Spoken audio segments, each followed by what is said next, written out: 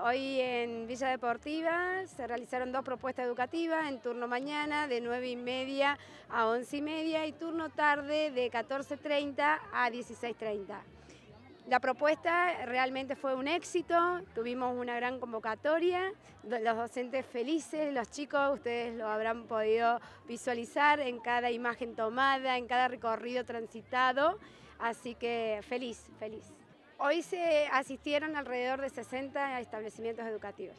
Gracias a Dios tuvimos la visita del señor gobernador, fue una, una, visita esperada, eh, también los chicos con una alegría, con mucho amor, tanto de los docentes, la familia, los alumnos, muy felices. La jornada también fue en Villa Deportiva y bueno, también hubo convocatoria de todos los jardines. Este año tuvimos eh, la grata visita del señor gobernador, lo cual puso el color que tenía que tener el nivel inicial.